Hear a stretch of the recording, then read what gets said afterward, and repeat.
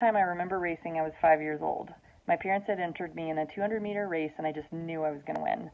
When they said go, I took off as fast as I could, but the other kids were pulling away from me. I stopped mid race and walked off the dirt track crying with disappointment.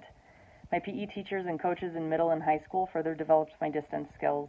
Then, when I got to Phoenix College, the cross country coach called my house numerous times trying to convince me that I was good enough to run cross country. I went on to run for ASU after PC, and then I got to coach at PC. One of my former PC athletes, Danelle Soto, ran these crazy 100 milers, and she repeatedly told me I'd be great at them. So I signed up for the Crown King Scramble 50K in 2017.